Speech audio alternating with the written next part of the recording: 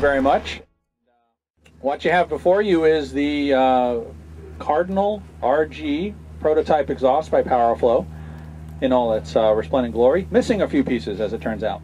This engine is the same engine functionally as what's on a Mooney, and we've had a uh, product for the Mooney out for several years now. The challenge was the Cardinal RG is a cowling unlike any other aircraft, and I do mean that uh, unfortunately. So we couldn't take what fit on the Mooney and put it on here.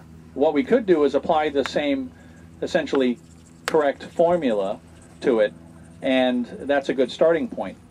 And uh, if you, uh, as you get a chance, um, look around on this, and you'll see on this side we have some incredibly long loopy tubes. Not loopy as in crazy, loopy as in very long and tubular, because we have to get the right tune length and diameter to get the kind of performance that we're looking to give. On the right side, um, you've got a situation of you don't see a lot of uh, headers, but that's because the headers on this side are going into a long series of tubes that combined with the long tubes and short internal collector tubes equal the same or near the same length. And this is our output. This was the number one question we got asked on the um, uh, Cardinal RG forum that we host on our website. What's it look like? I couldn't really say it's long because it's not really long. I couldn't say it's short. Not really short. It's kind of in the middle. If you see that aircraft, that's a standard RG output. See, it's kind of vertical. Ours, what you see that's silver, which is actually the ceramic coating, is all that sticks out of the cowling. It's this length because that gives us good carbon monoxide, meaning you don't get any. And it's um, it serves its purpose. The muffler, the entire muffler for the exhaust is right here. It's the tail end. It's a cone. It's um, there's probably an elegant term for it, but we'll call it a simple muffler because the more you get complicated, the more likely you are to have challenges. So the design element of that was let's keep it as simple as we can. It's replaceable. You don't have to send your exhaust off and pay a gazillion dollars. You can actually replace that cone. The other features on this, it is missing one of the primary heat shrouds that is going that is part of the design feature, and you can actually see what it looks like on that tall banner. Uh, it's not on there because we couldn't get it done in time to make it here, quite literally. This is the first pre-production unit. The prototype looked like this with many, many, many welds. So getting all the tooling and everything to this stage, of course, is, is quite an investment. So something I'm going to tell you, what's it do? Okay, the power flow concept is really simple. It's a tuned exhaust, improved performance for your aircraft. The theory is take off your old exhaust, put on your new one. It should give your engine a tremendous boost in efficiency. When I say boost, it should be able to perform with the same relative power settings. You should get more power. More torque if it's a constant speed, if it's a fixed pitch, you should see more RPM.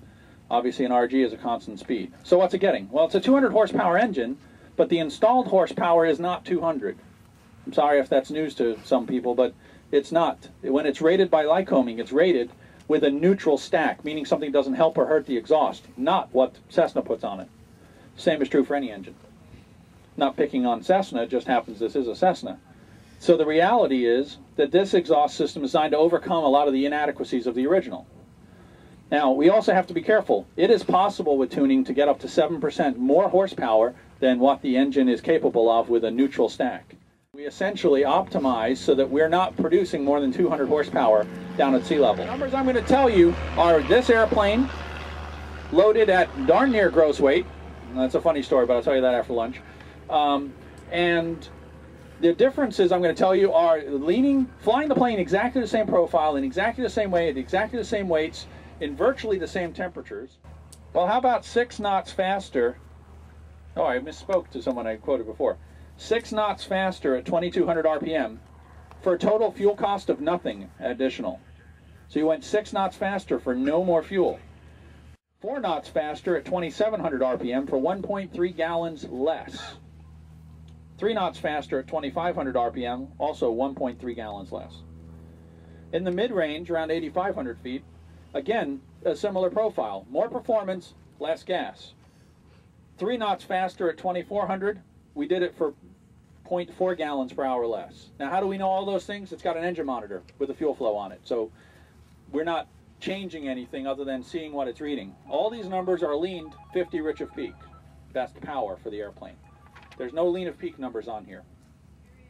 Down at 2,500 feet, it was pretty consistent in this particular plane, with giving it a very solid three knots at different RPMs, but it was doing so for a slight improvement in, or a slight increase in fuel, which makes sense because number one, we're not leaning the engine down low. And if uh, down low, it's going to take more gas to make more power. Up high, the efficiencies are going to kick in. That's why we can go faster for the same or less gas. Now, some people say well, that's not possible. The major key thing is it's not possible if you hadn't changed the brake specific fuel consumption of the engine. That's what we've just done.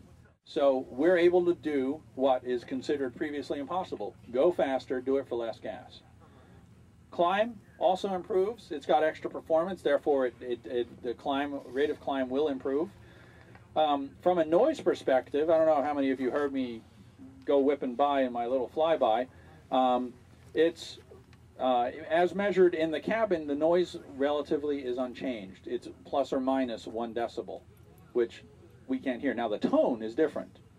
We will be leaving here about 2 o'clock today to get home in time for the weather, so you may have a chance to hear that, uh, but I doubt you'll very much hear much of a difference as we're idling or going by, because it's not that distinctive. Um, a lot of the other power flows, like the long stack power flow that you see over there, that is a lot quieter, especially on the ground. You only really hear the propeller. Um, this one's not quite as an aggressive muffler, but it is nevertheless a good muffler. What we're doing here is we are um, soliciting, I guess. Um, we are looking. Uh, we. It is, in fact. Uh, how much, sir? um, the I'm a politician. I resemble the first. the uh, what I'm here, uh, the wares I'm selling is the opportunity um, to, if we can get 30 deposits on the exhaust system by June 30th, we are going to commit fully to going forward with FAA certification. What's in it for the Cardinal people that do that? One, if we get to 30, we get to go forward.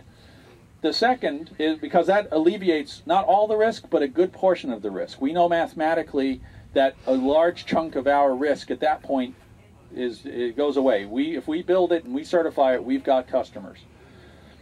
Uh, if we get past 30, we go to 40, 50, or even 60, everybody that's a deposit holder, their price goes down. Anybody after June 30th, assuming we get to 30, their price is going to be much higher. So that's kind of a double thing. And that's what we're here to do. And the only reason why we came here and did it for the Cardinal RG is the persistence of the Cardinal people. because, quite honestly, um, the Cardinal group, the Cardinal for proportionally is our most successful product. We're in over one in every five fixed gear Cardinals has our exhaust on it. That's a pretty spectacular success.